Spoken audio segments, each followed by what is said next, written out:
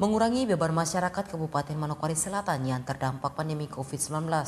Gubernur Papua Barat kembali membagikan bantuan jaring pengaman sosial tahap kedua berupa 2.553 paket bahan pokok.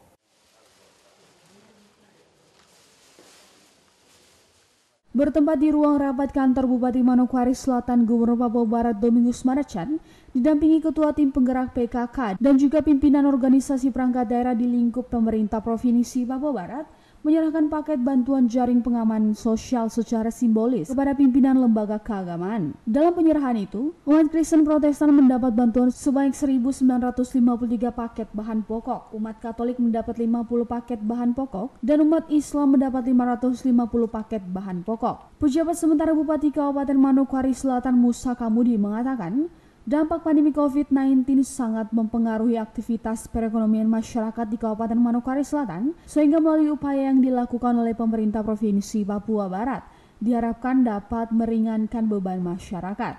Dia merasa bahwa dampak dari COVID ini berdampak pada aktivitas kegiatan perekonomian masyarakat. Sehingga dengan upaya pemberian bantuan ini akan meringankan masyarakat oleh sebab itu kita beri apresiasi dengan upaya yang sudah dilakukan oleh pemerintah Provinsi Papua Barat.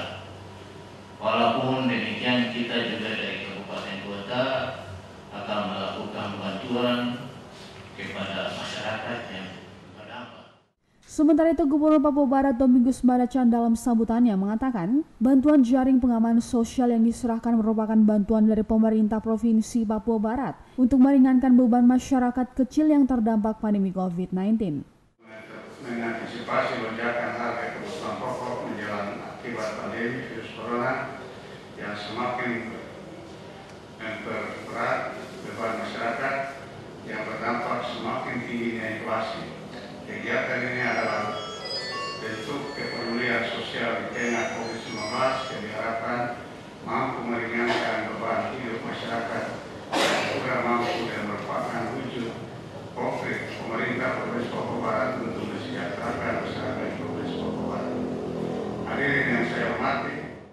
lebih lanjut disampaikan juga program jaring pengaman sosial yang dilaksanakan oleh pemerintah Provinsi Papua Barat diharapkan dapat bersinergi dengan program yang dilaksanakan oleh pemerintah Kabupaten Kota Papua Barat sehingga bantuan yang diberikan dapat diterima oleh semua masyarakat yang benar-benar membutuhkan.